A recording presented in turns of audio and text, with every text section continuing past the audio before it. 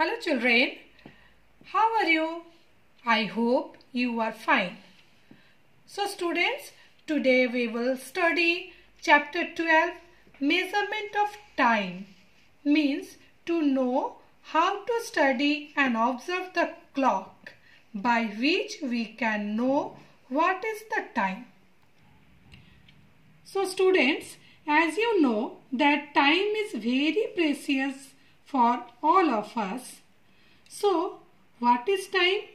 Time is the interval or gap between two occasions or event.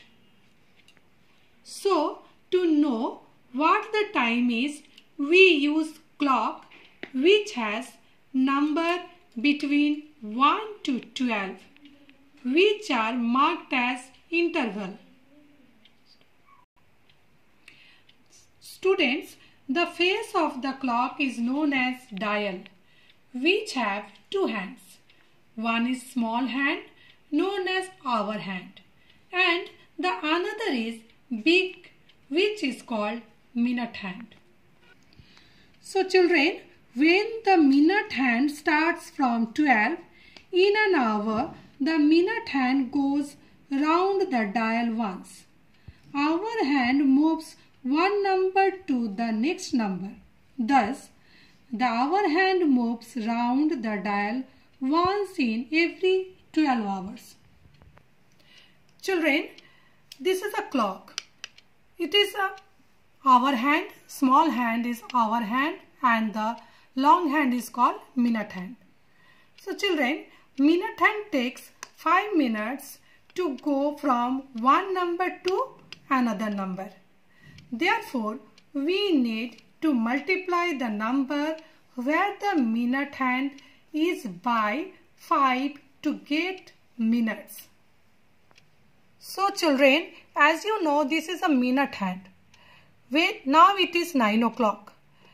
When the minute hand goes 12 to 1, it crosses 5 small divisions. That is called minutes. 5. 1, 2, 3, 4, 5. Okay. Now it is on 5. 1. 12 to 1 means 5 minutes. 12 to 2 means 5 to the 10.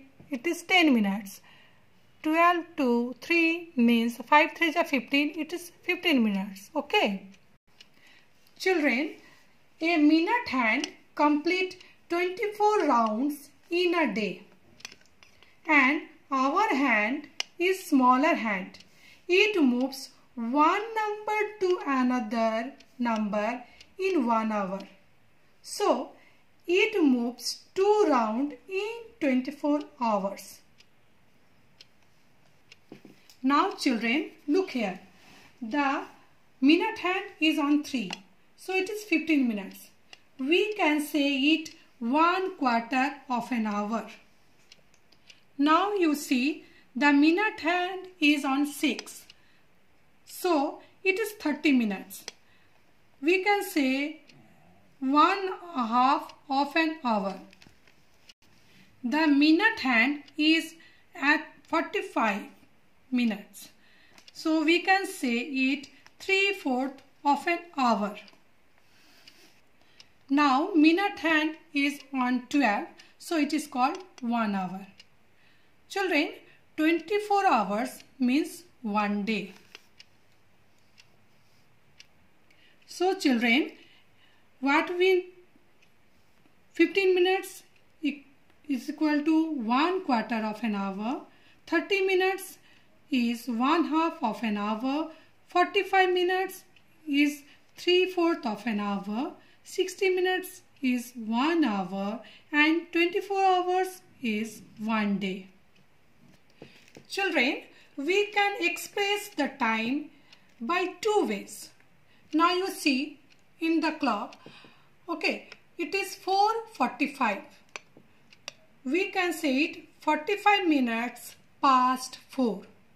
And in other way, we can say 15 minutes to 5.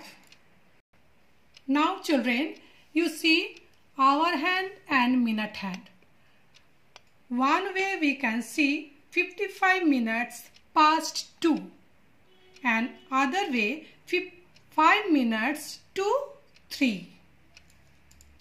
Now you see children, we can say the time in one way 10 minutes past 9 or in other way 50 minutes to 10.